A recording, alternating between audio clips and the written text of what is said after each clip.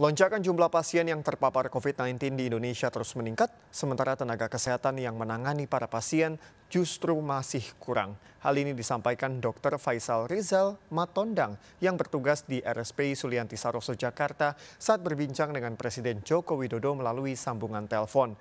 Dr. Faisal baru bertugas kembali setelah dinyatakan sembuh usai terinfeksi virus corona beberapa waktu lalu.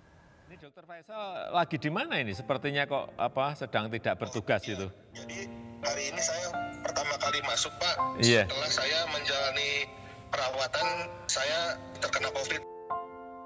Jadi saya sudah menjalani perawatan segala macam.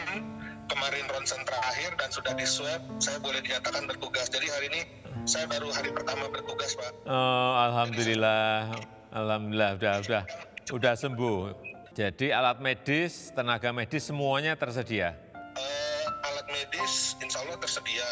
Tenaga mungkin masih tetap kurang Pak. Masih tetap kurang. makin bertambah. Jadi apa? eh, selama menangani pasien apa yang sering dikeluhkan mereka?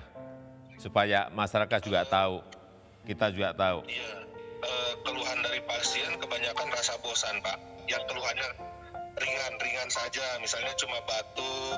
Nah, pasien bosan karena eh, berada di ruang isolasi, gitu Pak. Ruang isolasinya eh, tidak luas-luas kamarnya.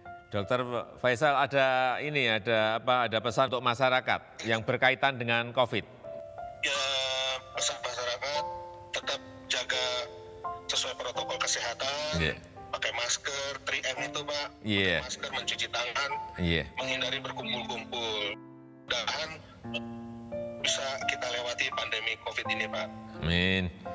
Sekali lagi saya menyampaikan terima kasih, mengapresiasi yang tinggi, menghargai kerja keras yang tinggi dari para dokter dan tenaga medis yang berjuang. Dokter, terima kasih dokter.